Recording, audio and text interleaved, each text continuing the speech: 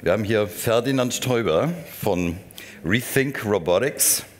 Überdenke die Roboter oder das, äh, die Robotik wird uns erzählen, was eine deutsche Firma mit Robotik macht. Spannende, faszinierende Sachen. Ihre Show. Vielen Dank.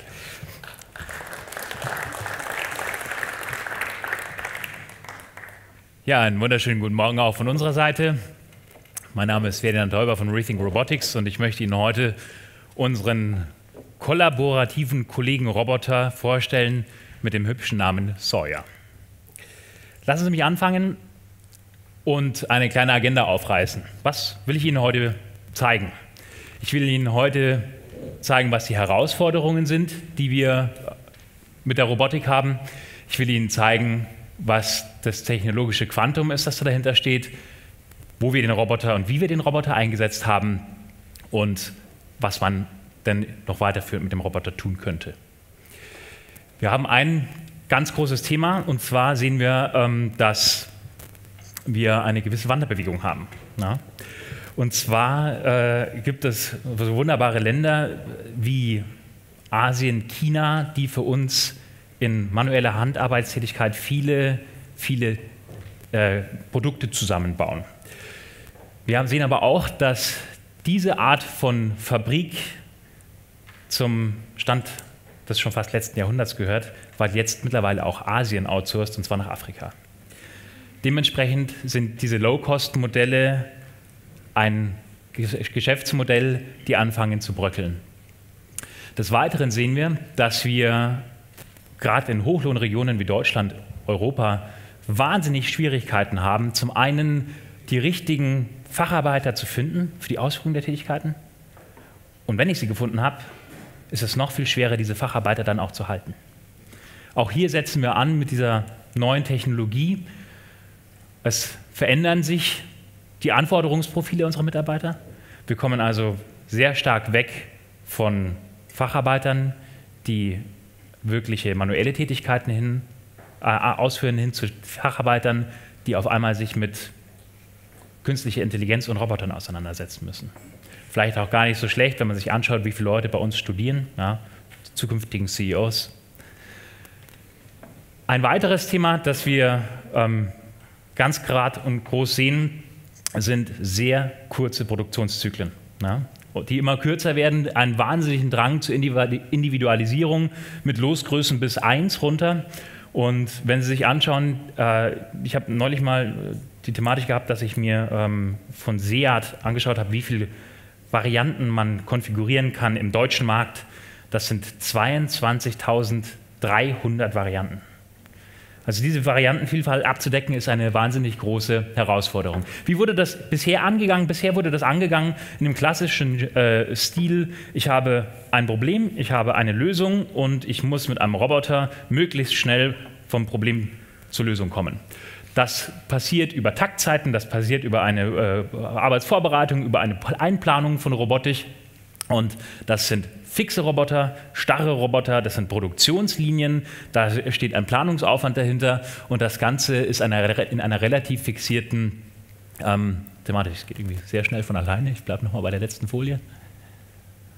Ähm, fixe Roboter, die genau daraufhin trainiert sind, eine Aufgabe hochrepetitiv, möglichst schnell immer wieder zu tun. Wenn man sich den Zeitverlauf anschaut, das ist eine Studie der Boston Consulting Group, die ähm, immer noch aktuell ist, sehen wir, dass ähm, von, 2000, äh, von 1960 bis 2015 insgesamt von allen Aufgaben, die man, die man sich anschauen kann, nur 10 Prozent automatisiert worden sind. Und wir sehen in dem 10-Jahres-Sprung von 2015 bis 2025, dass es hier einen exponentiellen Anstieg geben wird, der hin bis auf 25 Prozent aller industriell äh, automatisierbaren Aufgaben hingehen wird. Das wird aber nicht gehen mit der bisherigen äh, Robotik. Warum? Weil die einen wahnsinnig langen Integrationszeitraum braucht. Also Sie müssen wahnsinnig viel vorbereiten, um auf so einen Prozess zu kommen. Hier setzen wir mit einer agilen ähm, Robotik ein und möchten Abhilfe schaffen. Wie sieht das Ganze aus? Smarte, kollaborative Roboter, die mit den Menschen zusammenarbeiten können, die über Sensorik fast den Menschen imitieren können, die sehen können, die fühlen können und die auf Menschen reagieren können, die sicher bei Menschen in der Zusammenarbeit eingesetzt werden können. Hierfür haben wir ähm, die Firma Rethink Robotics gekauft. Die ist entstanden ähm, in den USA. Das ist der Automationsguru Rodney Brooks, der die ins Leben gerufen hat. Und ich kann Ihnen auch sagen, warum er sie ins Leben gerufen hat. Rodney Brooks war auch der Gründer der Firma iCobot, die die Staubsaugerroboter hergestellt hat. Und Rodney Brooks war auf einen seiner ähm, ähm, Produktionsrundgänge in China unterwegs und hat gesehen, es gibt so viele manuelle Handtätigkeiten der Robotik, dass ihm die Mitarbeiter so leid getan hat, dass er einen Roboter erfunden hat, der einfach zu trainieren ist, einfach zu steuern ist und der ausgelegt ist auf Arbeiten, die dump, dull und dirty sind. Hochrepetitive Tätigkeiten, die die Motivation der Belegschaft angreifen und die eigentlich bisher nicht automatisiert wurden. Ähm, da möchte ich ganz kurz drüber hinweg fliegen, damit Sie wissen, mit wem Sie es denn eigentlich zu tun haben. Wir sind ein großer Mittelständler in Hessen, die Hahn-Gruppe. Wir wurden vor über 30 Jahren gegründet, ähm, sind mittlerweile 1200 Mitarbeiter, haben ungefähr 200 äh, Millionen Revenues in, in 217, haben einen globalen Footprint in allen Standorten weltweit. Ähm, und hier sehen Sie einen kleinen Aufriss, wie wir uns entwickelt haben. Was bei uns einer der spannendsten Momente war, wir sind, ähm, unser Founding Father Thomas Hehn ist so der, der deutsche Traum des äh, Maschinenbaus gekoppelt mit ähm, ähm, The American Dream of How to Get Big. Ja? Also angefangen mit zwei befreundeten Kollegen in der Garage ähm, im Prinzip eine Automation aufzubauen. Und das hat sich stückchenweise immer weiterentwickelt für, zum Hoch- und Spezialmaschinenbau ähm, und ist mittlerweile ein richtiges Imperium geworden. Äh, wir haben 2000, äh, Ende 2012 einen hochinteressanten Partner mit uns an Bord gewinnen können. Das ist die RAG-Stiftung, die äh, uns hier auch bei diversen ähm, ja, Akquisitionen und Mergers äh, unterstützt. Und ähm, da ist eben einer der neuesten Familienzuzüge, die Rethink Robotics.